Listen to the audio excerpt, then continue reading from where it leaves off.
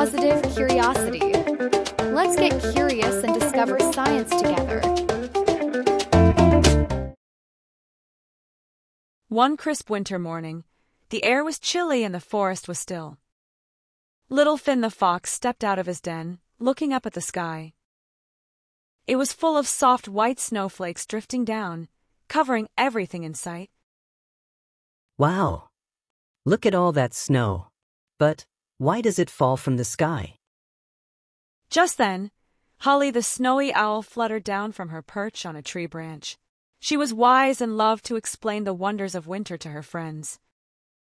Finn, snow falls from the sky because of something very special.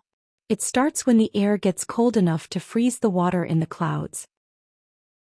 Holly flapped her wings and continued. When the air gets very cold, the tiny bits of water in the clouds freeze into little ice crystals. These crystals stick together and form snowflakes which fall to the ground. Wow! So the snowflakes are made of tiny ice pieces? That's so cool. As the snowflakes formed in the clouds, they began to twirl and swirl, dancing gently down to the earth.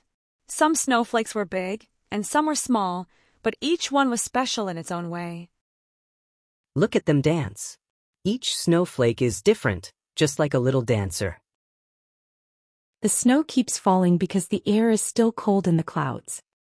The snowflakes keep coming down until they reach the ground, covering everything in soft white snow. It's like the sky is giving us a gift. Finn looked around at the beautiful, snowy forest. Everything was covered in a soft, fluffy layer of snow, making the world look calm and quiet. Everything looks so peaceful when it's snowing. It's like the world is wearing a fluffy white blanket.